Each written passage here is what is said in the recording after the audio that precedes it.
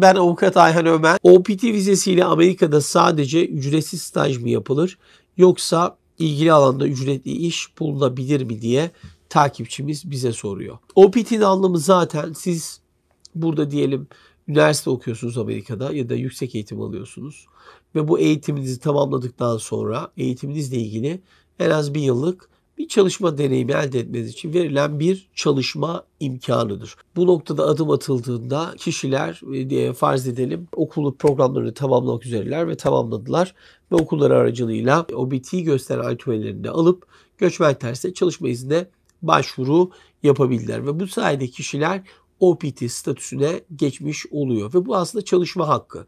Dolayısıyla OPT sürecinde öğrenciler ya da bu kişiler ya ücretli ya da ücretsiz çalışabilirler. Ama genelde tabii bu bir çalışma şeyi olduğu için genelde aslında ücretli bir şekilde kişiler çalışabiliyor. Yoksa ücretsiz e, yapılmak zorundadır diye bir kayda yok. Tam tersi bu noktada ücretli olarak çalışabilirler ama tabii de ücretsiz tabii ki de ücretsiz olarak da çalışma imkanına sahip olacaklar. Dolayısıyla burada tabii önemli olan şey sizin eğitim aldığınız alanın na bağlı bir işte bu tecrübeyi okul sonrası ediniyor olmanız. Bunu yaptığınız sürece de bir problem yaşamadan burada kalabiliyorsunuz deyip takipçimizin sorusunu cevaplamış olalım.